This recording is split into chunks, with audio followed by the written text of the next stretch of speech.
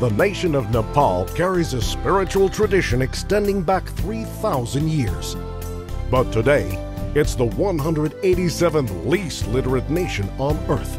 Consequently, it bears no real infrastructure for social progress, and upwards of half the population live a hand to mouth existence. But consequent to that, the setting turns to the Mount Gauri Shankar School in central Kathmandu. It caters to an array of children from the Nepalese elite, military, government, and business. Its school principal is leading Nepalese educator Bijay Sharma, whose story begins with his search for a practical resolution to Nepalese academic failings. He soon finds himself linking with the online presence of Applied Scholastics International. In expedient reply, Applied Scholastics dispatches Study Tech ambassador and longtime Asian emissary Evelyn Clark. Evelyn, in turn, presents fundamental APS materials and courses, including Learning How to Learn, the Basic Study Manual, and Study Tools for Educators.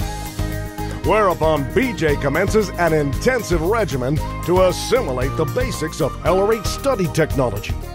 And all in preparation for a pilot with representative students at his Mount Gauri Shankar School.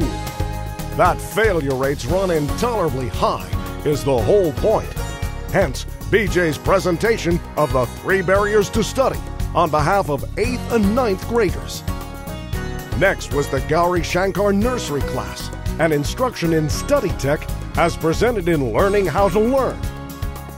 There was more of the same through the mid grades, including a study tech infusion in the Department of Mathematics, a subject deemed especially crucial to Nepalese social progress, and hence intensive use of clay demos to provide the mass for every abstract concept.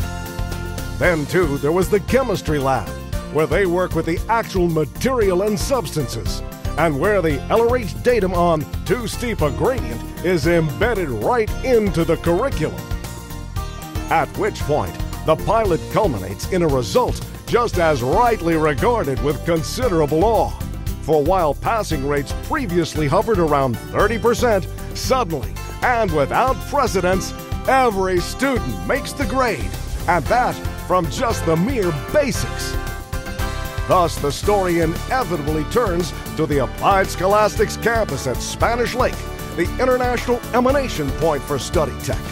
It's designed to train top educators as study tech specialists, and Professor Sharma knew he needed it all, meaning the full lineup of APS courses, including advanced communication skills, advanced fundamentals of instruction, and the Applied Scholastics curriculum course. The professor graduates as a gold certificate trainer with APS authority to hat study tech supervisors all over Nepal all of which in turn brings the story to a sequence that meets every definition of national inculcation. It begins with Kathmandu's Prasputin Academy. It's another English co-ed for sons and daughters of Nepalese elite. Its principal is likewise progressive. And so, accordingly and without delay, Bijay Sharma indeed now trains the trainers. Then again, there's the Asmita School along Kathmandu's southern perimeter. It lies at the other end of the cultural map, and so comprises a first study tech presentation in one of the deep poverty zones, with seminars on study tech for all resident teachers.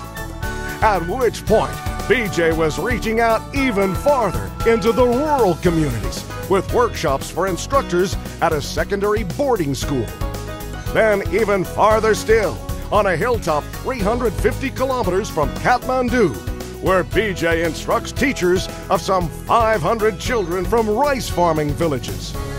After which, he was back in Kathmandu with still more again for teachers in what's known as autonomous schools, who provide instruction from nursery to 12th grade. And so it went until BJ had built no less than a movement comprised of some 1,600 study tech educators across the whole face of Nepalese academia. Whereupon, all gears start meshing to write another chapter of this story. It rolls out first from resident teachers presenting study tech to students in Kathmandu's secondary boarding schools. The same again out along the China Road at the Mount Sinai English Boarding School.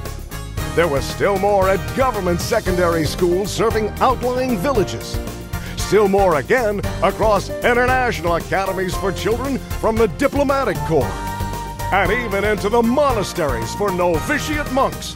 At which point, it truly went everywhere, coursing through academic arteries into every ethnic and corner of the culture, impacting well over a million students, and so transforming the whole foundation of Nepalese education.